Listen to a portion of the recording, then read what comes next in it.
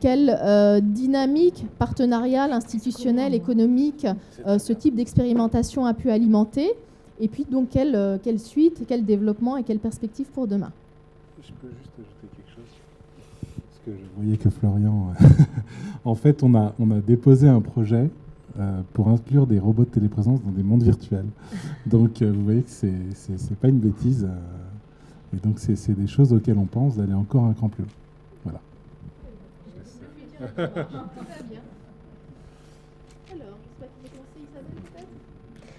Oui, donc on est en fin d'après-midi, donc je vais être assez rapide sur tout ce qui est retombées économiques, partenariales, institutionnelles, surtout pour laisser la place à Jérémy et puis à Corinne Benucci aussi pour qu'elle nous donne euh, euh, l'avis de la, DAN euh, côté rectorat. Donc retombées économiques et, partenariales. Donc on a, eu, enfin il y avait un objectif aussi de développement, développement économique dans notre projet au départ. Donc euh, Jérémy pourra, pourra en dire plus, mais effectivement, euh, une filière robotique qui était balbutiante en Rhône-Alpes particulièrement, mais euh, sur le plan national aussi. Donc ce projet a permis en fait l'émergence d'une filière robotique de téléprésence sur le plan national, la création de cinq emplois directs. Au niveau du, caractère nouveau, inédit donc, de cette expérimentation, ça a suscité un réel engouement. Monsieur Kigelman en parlait notamment ce matin, engouement dans les médias avec euh, beaucoup, euh, d'articles, de, reportages euh, télévisés, de présence dans les journaux télévisés lors, du lancement.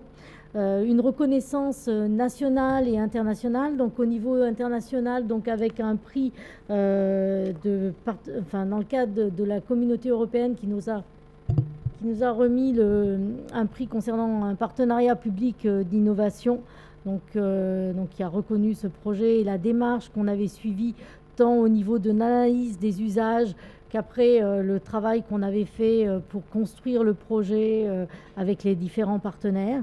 Un autre prix donc au niveau national, donc au niveau d'Educatis, donc le coup de cœur Educatis 2014. Et puis au niveau partenarial, donc euh, Catherine l'évoquait ce matin, mais c'est vrai que ça a été un, formidable projet euh, avec euh, pour la mise en place une équipe très soudée qui l'est encore aujourd'hui, qui a été agile, souple et qui a essayé tout au long de l'expérimentation de s'adapter tout n'était pas écrit d'avance et on, a voulu apporter en tout cas la meilleure réponse euh, pour euh, l'élève, l'usager final, donc euh, en se remettant en question à chaque fois pour avoir le maximum de satisfaction. Donc voilà, c'était ce que je voulais dire principalement et peut-être vous laisser la parole. Dans l'ordre que... Corinne, allez-y. Très bien, bonsoir. Donc moi, je suis déléguée académique au numérique, donc Dan, et donc je dirige un service au sein du rectorat, la délégation académique au numérique pour l'éducation. C'est quelque chose qui a été créé euh, avec le gouvernement de François Hollande, puisqu'il souhaitait que le numérique soit au cœur euh, de l'école. Donc euh, je, dirige ce service-là, et surtout, mon poste est particulier dans le sens où je suis conseillère technique de Madame la rectrice.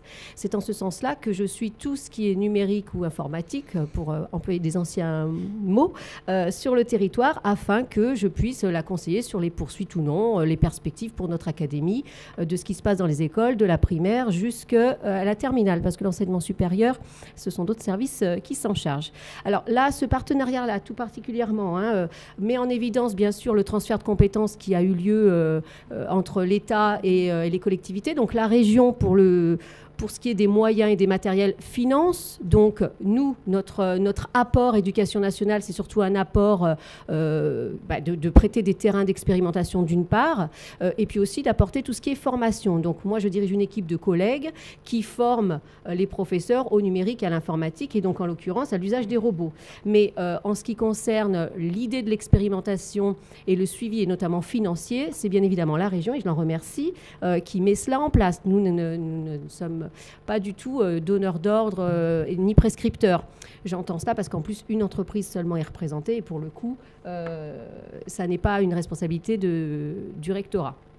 Donc euh, euh, cette initiative, bien, elle a été tout à fait la bienvenue euh, puisque nous étions en plein plan numérique au sein de l'éducation nationale. Nous mettons des tablettes à disposition des élèves de 5e dans les collèges. Enfin voilà, nous avons pris, nous connaissons l'importance du numérique aujourd'hui, numérique pour l'éducation au sein de l'éducation nationale. Et quand la région a proposé, bien sûr, de, mettre des robots dans les établissements scolaires, évidemment que nous avons suivi ça de très près. Évidemment que nous étions enthousiastes.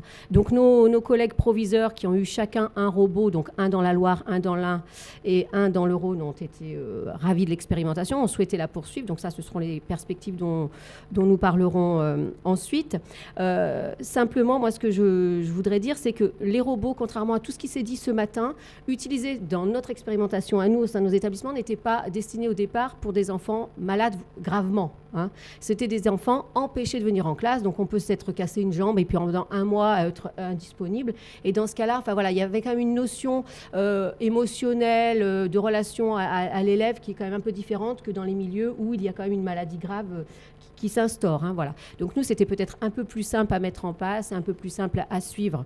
Euh, l'idée aussi, pourquoi nous, cette expérimentation nous plaisait, c'est qu'au-delà du fait qu'on permettait à un élève de rester à l'école alors qu'il en était empêché, eh bien, vous savez que l'école, elle essaie de savoir ce qui sera le mieux pour les élèves d'aujourd'hui et du futur, et notamment la posture enseignante, la forme scolaire, la professionnalité enseignante, et par le biais de ces nouveaux outils, eh bien, ça nous permet euh, de voir un petit peu ce que l'on pourrait faire. Et là, un nouveau partenariat s'instaure, enfin qui existe, mais euh, qui prend de l'ampleur. On a d'abord donc celui avec la région, mais on a aussi celui surtout avec les universités de notre académie, les enseignants-chercheurs, qui, eh bien, en utilisant les terrains, en venant étudier ce qui se passe, permettront ensuite, euh, enfin, pourront conseiller les ministres de l'Éducation nationale successifs sur ce qu'il est bon de faire en classe pour nos élèves. Et c'est tout l'intérêt de ces expérimentations-là. État, recherche et euh, bien évidemment les financeurs, euh, la collectivité territoriale. Donc euh, c'est un objet d'étude, c'est aussi en lui-même l'outil robot en l'occurrence, euh, c'est aussi un objet euh, de travail scolaire, on l'a dit ce matin avec les STI 2D, mais, mais pas que. Hein, on a tout un tas de nouvelles options qui entrent maintenant à l'éducation nationale sur le, sur le codage, sur le numérique et l'informatique, et utiliser l'outil même pour travailler cela, bah, pour les enfants, les élèves, c'est quand même plus intéressant que de faire de façon virtuelle. Et puis donc ma collègue Valérie Linco à Rameau, elle, son idée c'était autre chose, et, et vous y allez puisqu'on on l'entend aussi depuis ce matin, c'est aussi permettre une ouverture culturelle, notamment pour les établissements qui sont euh, euh, reculés euh, ou c'est ruraux. Moi, j'ai été principal puis proviseur d'établissements éloignés. Bah, prendre un bus pour emmener 30 élèves, c'est 500 euros, bah, c'est trop cher. Donc, il faut quand même être près de la réalité. Et le robot bah, permet à, ces élèves qui sont assez éloignés de pouvoir visiter, pourquoi pas, Confluence, alors que Rouen-Lyon, euh, bah, c'est trop cher. Voilà, donc euh, c'est intéressant. Alors, je vais aller vite parce qu'effectivement, on est en fin d'après-midi. Simplement, nous en entendant ce matin mon collègue Goldman, je me suis dit qu'il euh, il a, pointé quelque chose, et notamment le professeur de mathématiques de son établissement, c'est que le robot, il sert aujourd'hui, et c'est pour ça qu'on est vraiment en phase de, changement. Hein. On ne sait pas si demain les robots seront vraiment dans, les lycées, et le but, c'est toute l'expérimentation. Ils servent un petit peu de, décal pour faire quelque chose de nouveau. Le professeur de mathématiques ce matin expliquait qu'il euh, mettait des contraintes dans sa classe pour euh, faire les cours différemment. Il utilise le robot pour mettre la contrainte, mais la contrainte, il aurait pu la mettre sans le robot. Hein, de dire euh, je, vous, vous, ne parlez pas, euh, personne ne parle pendant le cours, c'est pas parce qu'il a le robot. Le robot est, est, utilisé pour faire évoluer nos pratiques. Et nous, c'est en cela qu'à l'éducation nationale, cela nous intéresse. Le robot en lui-même, on ne sait pas, on ne sait jamais. Hein. Il y a quelques mois de cela, euh, on pensait que la télé 3D allait faire fureur. La télé 3D, elle est morte. Hein. Donc, je ne vous souhaite pas du tout ça. Je, je ne suis pas oiseau de mauvais augure, mais simplement pour l'éducation, en tout cas, on n'est pas sûr de ce que, ça, que ça fera. Mais en tout cas, c'est euh, en ce moment une période qui nous permet d'envisager l'avenir euh, à, différents égards. Donc aujourd'hui, on va poursuivre bien sûr le partenariat avec la région euh, qui, propose que ça se poursuive et nous en sommes ravis. Alors la donne va un petit peu changer, je vais être très pragmatique. Hein. C'est que la région, une fois qu'elle a expérimenté, qu'elle sent que, le produit fonctionne et que tout le monde en est satisfait, ben, il y a tout un problème de financement et de coûts qui sont maintenant, qui vont être transférés aux établissements scolaires, hein, parce que si la région va fournir euh, le matériel peut-être dans un premier temps, mais après il y aura toute la maintenance, toute la mise en place. Donc ça, euh, bah, c'est un coût pour les établissements, pour le rectorat. C'est des choses sur, euh, lesquelles il faut que, que, nous échangions, bien évidemment. Et puis nous, à l'éducation nationale, il faut qu'on se réorganise un petit peu, parce qu'on l'avait évoqué à la région dernièrement lors d'une réunion. on a envisagé de l'utiliser dans le cadre bah, pour les enfants relevant du handicap. pourquoi pas? Donc on a des services spécialisés au sein du rectorat pour cela. Mais alors, voilà, il faut qu'on repense tout comment est-ce qu'on le prête, comment est-ce qu'on le déplace? Il faut faire des conventions. Euh, qui sera prioritaire sur l'autre quand on aura un nombre restreint de robots? Enfin, Ça nous fait nous-mêmes repenser notre organisation, l'arrivée de cet outil. Voilà, donc euh, ben, très bien, c'est très bien de repenser l'organisation, c'est très bien de se remettre en question. Donc on profite aussi de l'outil euh, pour faire cela. et je vais conclure sur une chose, c'est que dans un premier temps, enfin moi je, préfère le bottom-up que le top-down, et on a un petit peu été vers le top-down. Hein. J'aimerais bien que maintenant des choses émergent du terrain et fassent qu'on ait besoin des choses plutôt que d'apporter un outil et qu'on se dise mais qu'est-ce qu'on va bien en faire? Je trouve ça un petit peu dommage parce que autant dans, la santé, d'après ce que j'ai entendu ce matin, c'est vraiment des besoins que vous avez, alors que nous, ben, on s'invente, on se crée notre propre besoin par rapport à un outil. Donc ça, euh, ben, je sais que les enseignants-chercheurs euh, travaillent là-dessus, hein, c'est une problématique. Mais ça, c'est une problématique euh, éducation nationale qui ne remet pas du tout en cause l'outil, mais ça demande de, de la réflexion de notre part. Voilà, merci. Je vous, prends le micro, je vous donne le micro. Attends, je ne veux pas tout arracher. C'est bon. Merci. Oui. Petit bouton rouge, là, c'est petit. Oui. Comme ça, comme ça, comme ça. Voilà.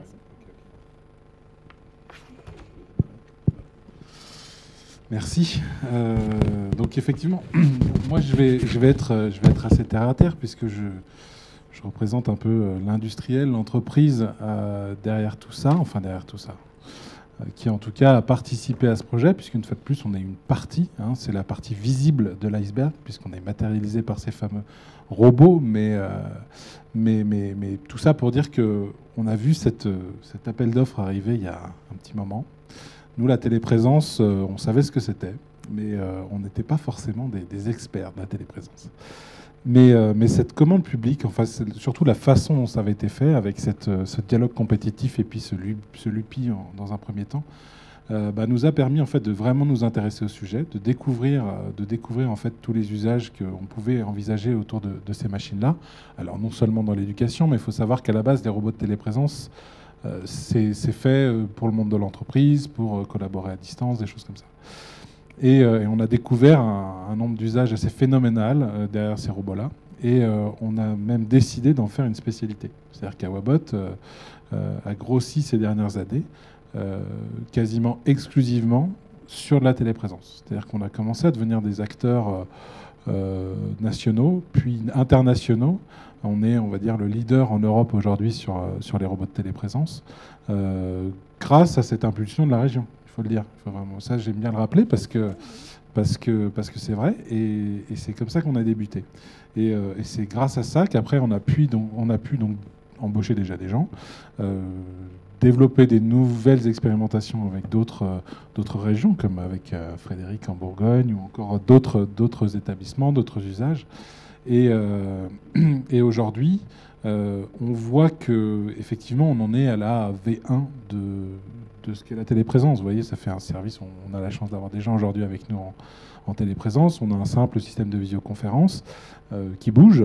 Euh, déjà, ce qu'on a fait par rapport au début du marché, c'est que ça marche très bien. Maintenant, c'est extrêmement fiable. Vous voyez, depuis ce matin, il est là. Sans, Monsieur Monnier est là sans, sans trop de déconnexion. Et euh, malgré voilà, tout ce qu'on a, tout ce qu'on a pu évoquer pendant le, pendant cette journée, on a vu que bah, la problématique technique, c'était une problématique forte. Et que du coup, euh, nous, on a aussi un peu axé notre offre euh, pour travailler autour de ces, problèmes-là. La partie technique, on l'a, on, l'a, on va dire, résolu, ça fonctionne, c'est bien. Maintenant, il y a tout l'aspect accompagnement. Et donc, ça nous a permis aussi de, développer une nouvelle offre qui n'est plus de vendre des produits, mais de fournir du service, d'apporter une solution à des problématiques. Puisque souvent. Alors là, on avait un, consortium qui était vraiment bien organisé avec tous les acteurs. Mais ce qui peut se passer, c'est que des gens viennent nous voir, ils sont un peu isolés, ils ont un peu de budget, ils disent on va acheter un robot et puis euh, c'est parti, on va faire de la téléprésence. Et puis manque de bol, bah, ça marche pas, problème de réseau, problème de machin, pas d'accompagnement, personne pour m'aider. Euh, et donc nous, on souhaite vraiment s'orienter vers euh, proposer une solution globale de téléprésence qui va vous abstraire du matériel, déjà pour éviter d'avoir à investir tous les, euh, toutes les X années sur des, machines qui évoluent euh, sans cesse euh, et qui, qui demandent des mises à jour. Donc voilà, c'est un peu le, le message, c'est on va, on va retravailler nos, la façon dont on, dont on procède pour pouvoir, pour pouvoir bah, répondre plus facilement à des, à des, à des, demandes comme celle de l'éducation qui sont extrêmement variées. Hein. Vous avez vraiment tout type de... Une fois de plus, on a vraiment eu de la chance d'être tombé sur sur un projet comme celui-ci. Parce que faire aboutir euh, ce genre de choses, c'est-à-dire que là on est sur le bilan, le bilan il est plutôt, il est plutôt positif, euh, c'était loin d'être gagné, on, partait d'une technologie qui, démarrait, euh, une volonté, mais en plus avec le cadre des marchés publics qui ne nous permet pas de faire non plus n'importe quoi. Et, ça, ça, a vraiment permis de structurer, structurer Awabot. Euh, qui a euh, commencé par ces fameux euh, trois robots pour la région et qui maintenant vend plusieurs centaines de robots par, par an à travers l'Europe et même à travers le monde pour des usages variés. Et, des usages qui sont très souvent des usages humains. On vend des robots, mais derrière, il y a toujours un humain. Et ça, c'est, comme on c'est la, plus humaine des, solutions robotiques. Et c'est aussi une vraie, euh, un, vrai, un vrai plaisir pour nous bah, de, participer à des projets comme, comme celui-ci, comme Vicky, qui sont vraiment des projets humains. C'est aussi important pour les équipes de se sentir, de sentir utile, d'apporter quelque chose à, ces, euh, à, ces, jeunes, à ces enfants qui sont, euh, qui sont dans une situation difficile. Et donc cette satisfaction nous pousse encore à aller plus loin, à essayer de travailler ben, avec, avec tous les acteurs sur, sur des, des, la suite. Quoi. Comment est-ce qu'on va corriger toutes ces petites choses pour, euh, pour faire euh, encore euh, des solutions plus pertinentes. Voilà. Chose à rajouter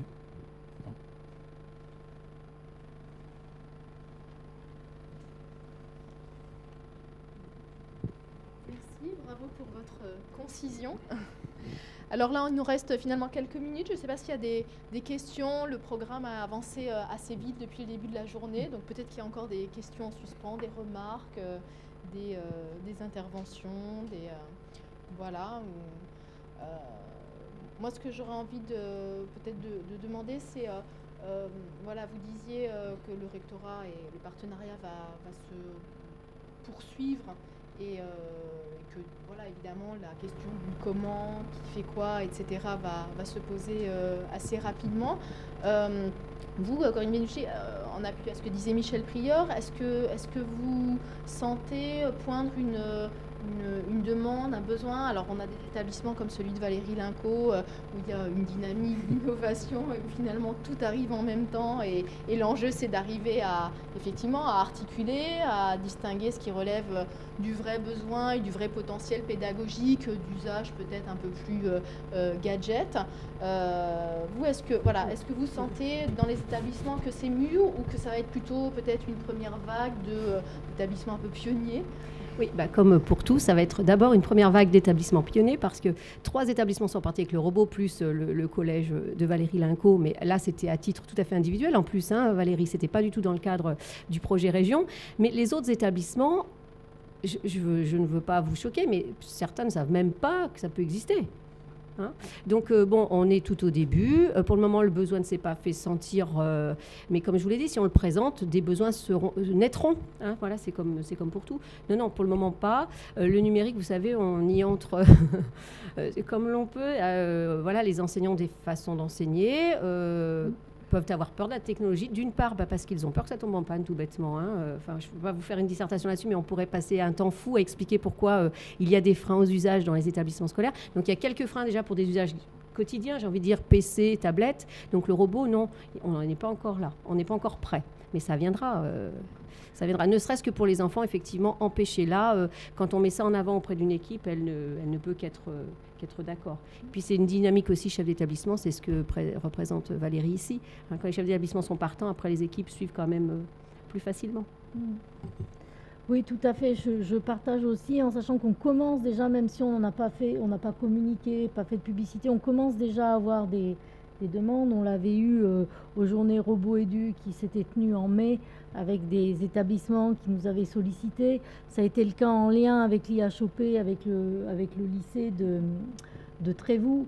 Euh, il y a d'autres demandes qui émergent, et notamment, par exemple, la Martinière, Mon Plaisir, a été sollicité par d'autres établissements en disant Est-ce que vous pouvez nous prêter votre robot? euh, ça a été le cas aussi sur Foriel. À un moment, en début d'année, vous avez été sollicité par un lycée de Firmini qui a demandé est-ce que vous pouvez nous prêter. Donc c'est vrai que euh, ça se fait à petite échelle quand on connaît le projet. Les gens en entendent parler et se disent mais oui, ça pourrait nous être utile, on pourrait l'utiliser. Et je pense qu'à partir du moment où on va un peu plus euh, euh, en parler, communiquer sur le projet. Effectivement, là, on, va, avoir des, retours où, il va y avoir des, attentes forcément. Donc c'est pour ça qu'il va falloir qu'on travaille ensemble pour être prêt et, pouvoir y répondre. Je pense aussi que la, grande variété de, nos approches, hein, que ce soit dans le domaine industriel, dans le domaine éducatif, dans le domaine de la recherche, dans le domaine des collectivités territoriales, multiplie les réseaux. Or, cette opération nous a rendu visibles, a rendu visible la région sur, quand on dit robot lycéen, on dit Ah oui, c'est l'expérimentation euh, rhône-alpine. Ça a rendu visible à Wabot, Jérémy, tu, viens de le dire. Ça a vraiment rendu visible des établissements de l'Académie de, Lyon. Ça nous a donné aussi une visibilité en tant que, en, tant que, euh, que enfin, suiveur, enfin, accompagnateur de cette expérimentation. Et on a beaucoup de réseaux et on va en parler et on en parle déjà. Quand je dis que euh, il y a des, y sur le plan international, il y a des réunions qui vont se tenir sur cette question-là. Euh, d'ici la fin de l'année, on va faire venir des, chercheurs et des, euh, décideurs de, pays européens pour parler de la question de la robotique et des objets connectés dans l'éducation. C'est-à-dire qu'on est en train de porter ce, cette question-là pas simplement euh, au niveau national, mais aussi au niveau international, parce qu'à mon avis, au moins au niveau européen, c'est le bon niveau pour, euh, pour se poser les questions que nous nous posons, qui touchent à la fois les pratiques professionnelles, les pratiques pédagogiques, et puis euh, voilà, bien, bien d'autres sujets que, que, que, nous avons, et aussi le développement technique dans l'éducation, puisqu'on voit bien que derrière, il y a des, questions techniques très fortes. Donc c'est notre rôle et on va le tenir.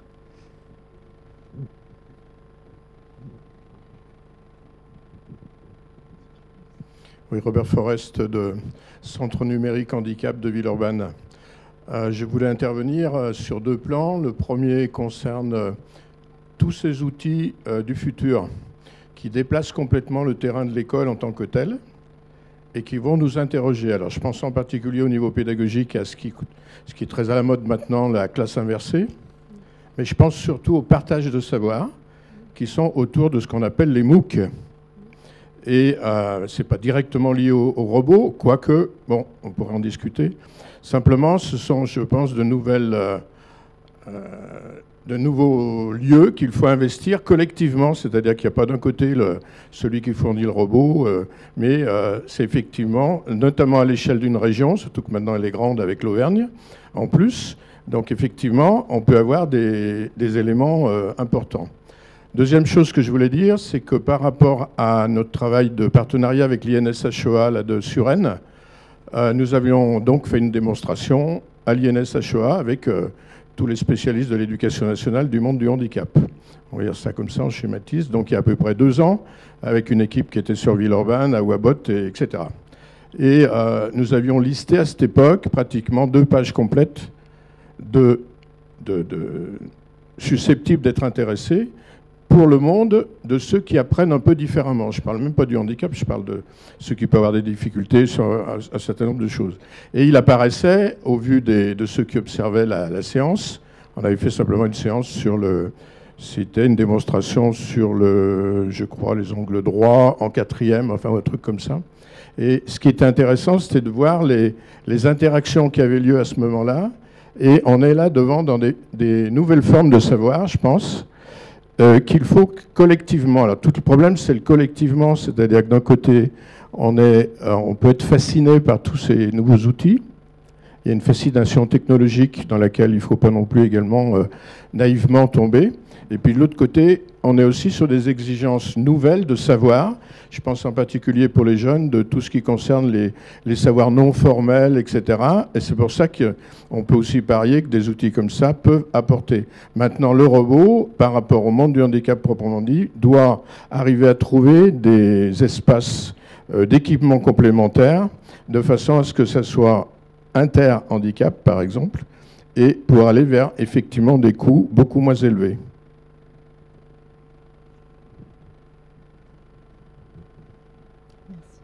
Alors j'avais une question du coup euh, encore pour euh, Jérémy.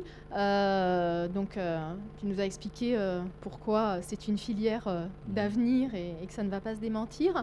au niveau peut-être des des, modèles économiques ou des modèles de, de financement, est-ce que là aussi vous voyez émerger avec d'autres collectivités, peut-être d'autres régions ou des départements ou des financières plutôt issus du privé. On a vu qu'il y avait des formes de, mécénat, euh, peut-être des fondations. Voilà.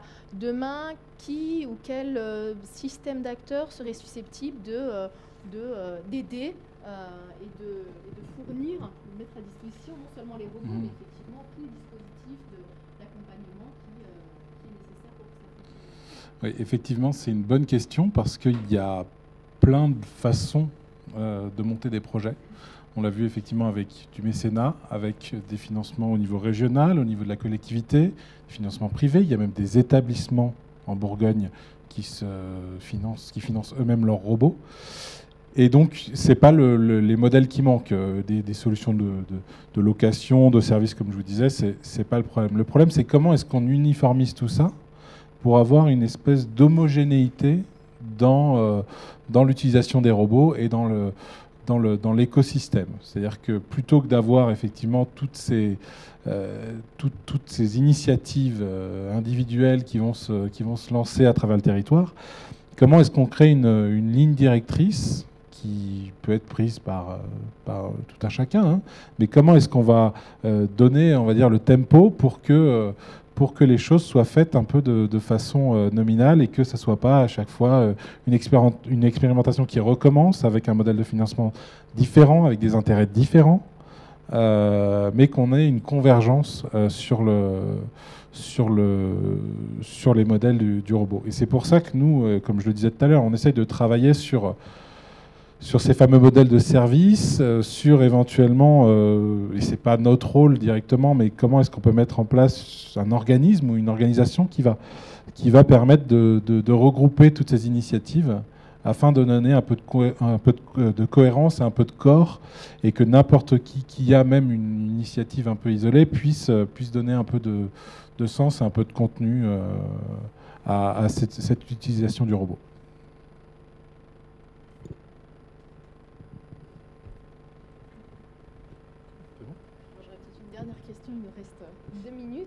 Euh, moi, une question que je me posais, mais à titre plutôt personnel, c'est que euh, donc on, voit bien que le besoin euh, le plus hum, voilà, avéré, tangible dans le domaine public concerne effectivement tous les, élèves empêchés ou porteurs de handicap ou éloignés de l'enseignement ordinaire qu'un robot de téléprésence permet voilà, permet de, rapprocher, etc. Est-ce que du coup, euh, euh, les, les, acteurs et les systèmes de, financement euh, du handicap, de la maladie, sont, manifestent de, de l'intérêt Est-ce que vous travaillez avec l'assurance maladie, avec des mutuelles, avec la GFIP, avec ce type d'acteurs? Est-ce que, est que, voilà, est que ça prend Est-ce que ça frémit Est-ce que ça intéresse aussi de ce côté-là? Oui, bien, oui, évidemment. Euh, alors, il y, a différents niveaux. Effectivement, le, secteur privé, on, est déjà en discussion avec, euh, avec pas mal d'acteurs euh, dans le monde de, de, la mutuelle, entre autres, pour, parce qu'il y, y a, des enjeux derrière. Effectivement, pourquoi ça, pourquoi ça marche bien aussi dans ces domaines-là C'est que il n'y a pas vraiment le choix. Il n'y a pas forcément de solution alternative. Et, et, ce qui fait que tout le monde se prend de ce sujet. Donc, effectivement, les, Les mutuelles en font partie. On a euh, des discussions euh, avec certains membres au niveau de la de l'assurance maladie, mais c'est encore très tôt. C'est des choses qui sont extrêmement complexes à faire bouger. On, discute entre autres avec un certain un groupe de, docteurs euh, qu'on a invités dans nos locaux l'autre jour pour apprendre un peu plus sur. On reste une petite boîte, hein, donc pour, pour, pour, couvrir tous ces secteurs, bah, c'est pas si simple on a appris déjà beaucoup de choses intéressantes sur euh, la télémédecine. Du fait qu'aujourd'hui, bah, depuis le 1er janvier 2017, euh, on peut facturer des actes de, des actes de télémédecine, certains actes. Bah, ça, euh, ça, ça, ouvre des portes à énormément de choses parce que qui dit financement dit modèle économique et dit bah, que ça peut, ça peut prendre de l'ampleur et qu'on rentre dans des choses intéressantes. Donc aujourd'hui, oui, c'est principalement le secteur privé, euh, et un peu d'institutionnel. Euh, mais voilà, le problème, c'est que ça prend énormément de temps, quand, surtout quand on parle de la santé du handicap. Ben, c'est un process qui est, quand même, euh, qui est quand même un peu long. Mais on y croit.